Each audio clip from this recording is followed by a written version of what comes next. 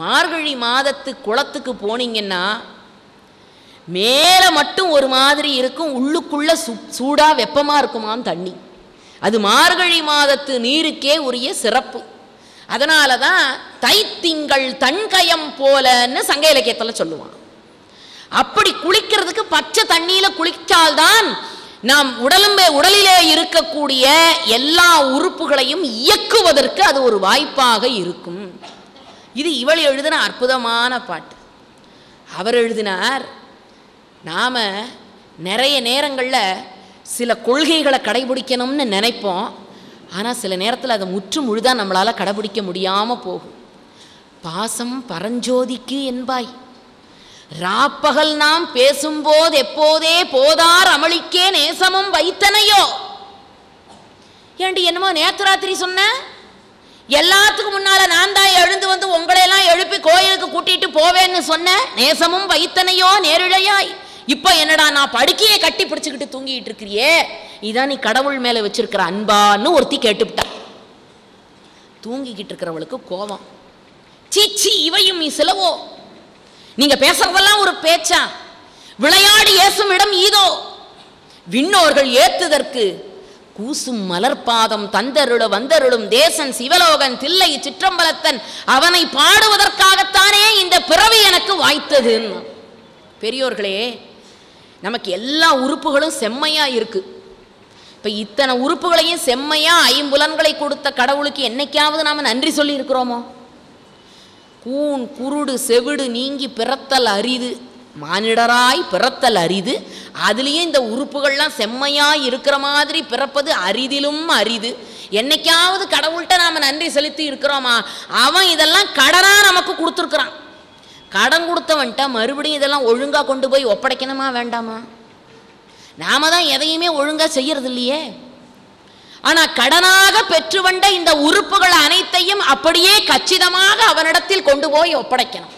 தேசன் சிவலோகன் தில்லை சிற்றம்பலத்திலே இருக்கிறானே அவனுக்கு ஈசனாக அடியவனாக இல்லாமல் இப்படி பாழ்த்தனமான வேலைகளில் உன் உறுப்புகளை பாழ்படுத்தி கொண்டிருக்கிறாயே. அப்படின்னு மாணிக்க வாசகர் கேட்டார். மூன்றாவது பாசுரம் ஆண்டாள் எழுதுகிற பாசுரம் பெரியோர்களே இன்றைக்கு நாம் எத்தனையோ புரட்சிகளை பற்றி பேசுகிறோம். ஆனால் ஆண்டாள் பெரிய புரட்சி தலைவி தெரியுமா உங்களுக்கு? முதன் முதல்ல ஒரு பெண்ணா இருந்து புரட்சி செய்தவள் ஆண்டாள். எப்படிறான்னா திருமாலை பார்த்தா அவனையே கல்யாணம் பண்ணிக்கணும்னு நினச்சா. தூங்க போனால் கனவுலையும் அதுவே வந்தது. இல்லையா? மத்தளம் கொட்ட வரி சங்கம் நின்றூத முத்துடை தாமம் முறை தாழ்ந்த பந்தல் கீழ் மைத்துண நம்பி மதுசூதனன் வந்து கைத்தலம் பற்ற கனா கண்டேன். என்ன அழகான கனவு. மதுசூதனன் நம்பி வந்து என் கைத்தலம் பற்றுவது போல் கனவு கண்டேன்னு அவள் எழுதினான் அதுல நாச்சியார் திருமொழி ஐம்பது பாடல்களை படியுங்கள். அந்த திருமால் அந்த பெரிய கல்யாண மண்டபத்துல காலை எடுத்து வைக்கிறாராம். மதுசூதனன். காலை எடுத்து வச்ச உடனேயே அந்த அரங்கமே சும்மா அதிருதில்லைன்னு எழுதுறாரு. இன்னைக்கு சிவாஜி படத்துல சும்மா அதிருதில்லைன்னா நம்ம எல்லாரும் பேசுகிறோமே இந்த அதிருதில்லைங்கிற வார்த்தை எங்கிருந்து வந்தது? ஆண்டாள் நாச்சியார் நாச்சியார் திருமொழியில் எழுதினா அதிர புகுத கனா கண்டேன் தோழி. அந்த அதிர புகுதவை எடுத்து இன்னைக்கு சும்மா அதிருதில்லைன்னா நம்ம எல்லாரும் ஒத்துக்கிறோம். வாரணமாயிரம். இதை நடத்த முடியல. உடனே சூர்யா நடிச்ச படம் தானேங்கிறான் என் பையன். எதை எடுத்தாலும் திரைப்படத்தோடு கொண்டு போய் முடிச்சு போட்டுடுறான். அப்படி காலை எடுத்து வைக்கிறானாம். யாருடான்னா அந்த மைத்துனன் நம்பி மதுசூதனன் வந்து என் கைத்தலம் பற்ற கனா கண்டேன் தோழி. அந்த திருமால் கையில வச்சிருக்கிறாரு பாருங்க அந்த சங்குக்கு பேரு பாஞ்ச சன்னியம்னு பேரு. திருமால் கையில வைத்திருக்கிறாரே வில் அதுக்கு பேரு சாரங்கம்னு பேர். அவர் வைத்திருக்கிறாரே சக்கரம் அதற்கு பெயர் சுதர்சனம்னு பேர். பாஞ்சசன்னியம் சங்கு சாரங்கம் வில்லு சுதர்சனம் சக்கரம். இது எல்லாவற்றோடும் எம்பெருமான அழகாக இருக்கிற அந்த கோலத்தை இவள் பார்க்கிறாளாம். எந்நேரம் பார்த்தாலும் சங்க வாயில வைத்து எம்பெருமான் ஊதிக்கொண்டே இருக்கிறார். அந்த பெருமாளோட முகத்தை முழுசா பார்க்கலான்னா இந்த சங்கு விடமாட்டேங்குதே.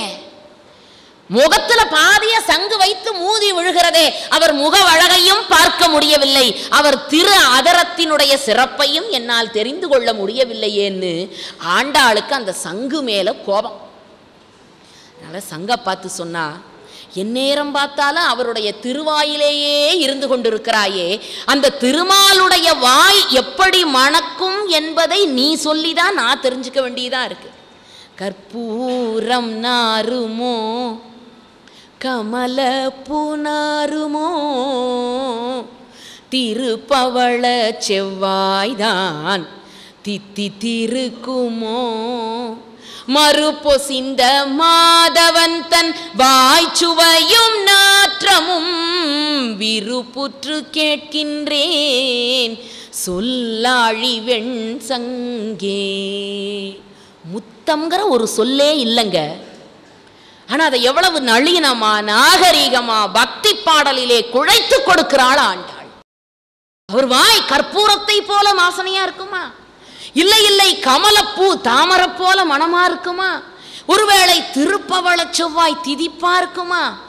மறுபொசிந்த மாதவன் தன் வாய் சுவையும் நாற்றமும் விருப்புற்று கேட்கின்றேன்.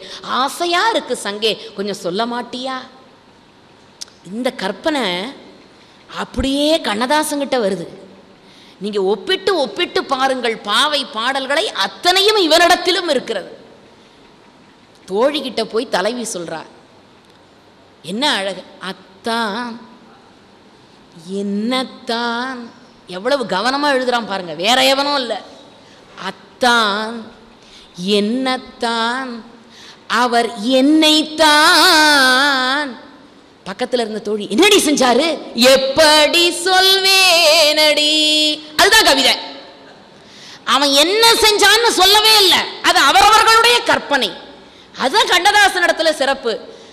அவன் கையைத்தான் கொண்டு மெல்லத்தான் வந்து கண்ணைத்தான்.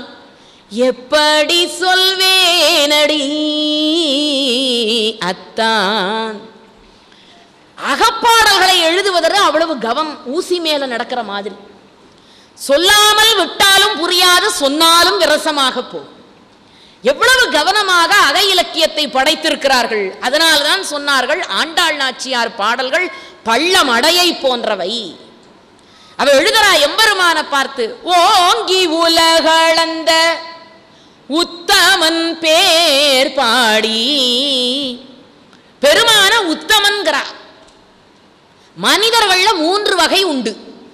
ஏம்மா ஏற்கனவே இருக்கிற ஜாதி பத்தாதான் நீங்க வேற புதுசா மூணா சொல்றீங்களான்னு கேட்காதீங்க. மனுஷனை மொத்தமா இந்த மூணுக்குள்ள அடக்கலாம். எதிரானா முதல் வகை. மற்றவனை அழித்து தான் மட்டுமே வாழ வேண்டும் என்று நினைக்கிறவன். இவனுக்கு பேரு அதமன்னு பேர். ரெண்டாவது வகை. நீயும் நல்லாரு. நானும் நல்லா இருக்கேன். குறைஞ்சபட்சம் நாம இந்த வகையிலையாவது இருந்துடலாம் பிரச்சனை இல்லை. நீயும் நல்லாரு நானும் நல்லாரு. என்னால உனக்கு துன்பம் இல்லை உன்னால எனக்கு துன்பம் இல்லை.